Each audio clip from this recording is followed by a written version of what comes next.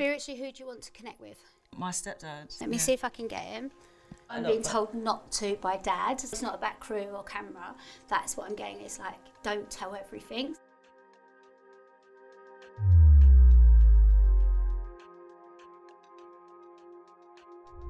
You're right, my name's Sasha Keable, and Woo have invited me today to have my own personal psychic reading. I'm really excited.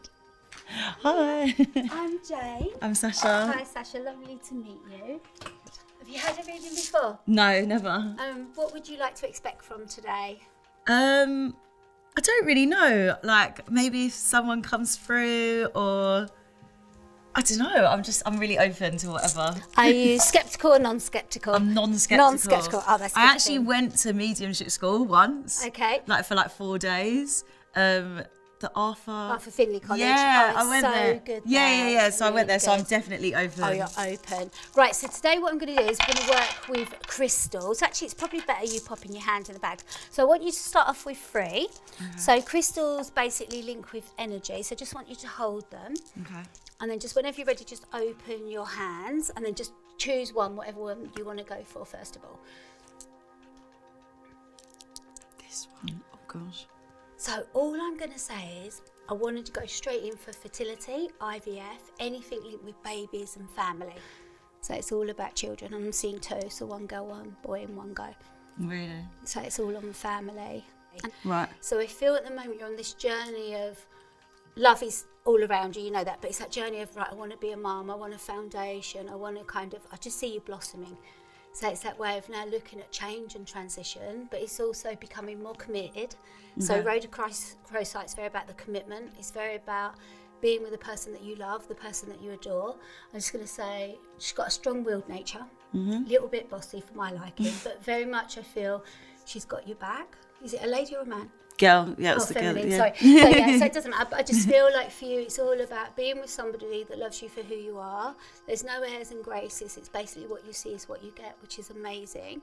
Let me just take the second one. So I'm going to go with Bloodstone, which is all about the heart and the emotions. So that's more linked with childhood Okay. and a lot of stuff what you've been through which you don't actually want anyone to know about. So there's a lot, not secrets, but there's stuff like you want to keep very buried. Yeah. Yeah. Yeah. And yeah. spiritually, who do you want to connect with? Um, my stepdad. So it's dad energy. Let me Yeah. see if I can get him. That feeling then when your stepdad came in, that feeling with the tiger's eye of knowing that he's safe and well. I feel leaving was the hardest thing he ever did, but everybody sat by me, everyone was there.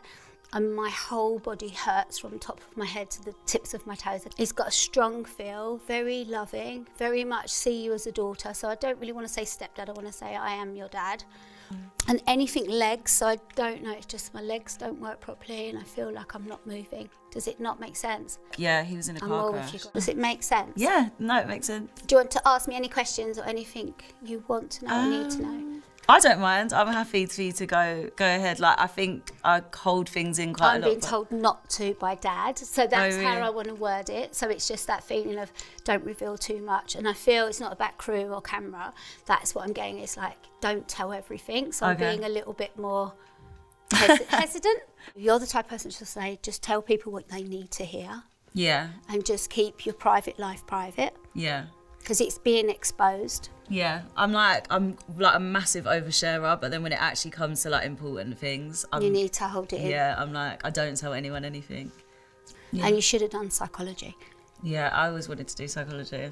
Because it's that way of I love people, I love their energy, I want to communicate. And I think for you, it's listening to like the story that I'm telling you rather than you sitting there and me telling you your story. Yeah, no, it's, it makes it makes sense. Like Is that all okay then? yeah, yeah, yeah, Yeah? yeah, absolutely. Thank you so much. Thank you. Thank you. So that was really interesting.